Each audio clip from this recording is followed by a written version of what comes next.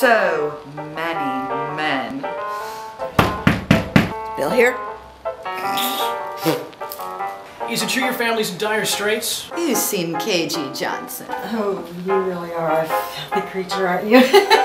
And you're about to marry uh, Johnson Franklin? Oh, Susan, please get her her medication. I told you women don't know how to play chess.